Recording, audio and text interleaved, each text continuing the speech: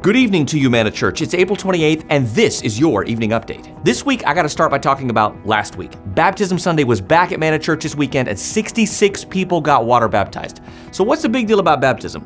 Well, when folks get water baptized, they're making a public declaration of an inward reality. As they go under the water and come back up, they're identifying with Jesus' death, burial, and resurrection. And our team got to lay hands on and pray over each and every person who was baptized. So, look, confession time. Uh oh, is this gonna get awkward? No, it's not. I confess that I'm a lifer at Manna Church. I've been around a minute or two, or a decade, or nearly four, and what I witnessed is basically everything. And I'm not one who gets easily excited, but this past weekend gave me goosebumps.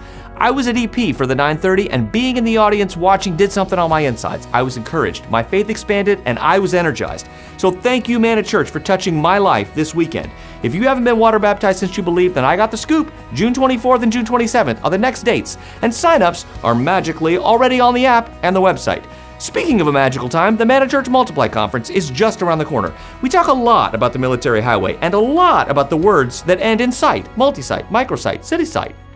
Are you curious about those?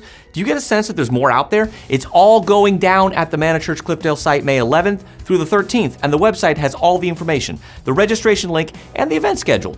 Lastly tonight, the summer is almost here, and I know that means vacation for some and a change of pace. As you find your rhythm for summer, we're here to engage with you in a variety of ways. Manna Live will be adding Summer at Manna after the Thursday night service, and Manna Online allows you to be engaged with this group of world changers wherever your travels may take you.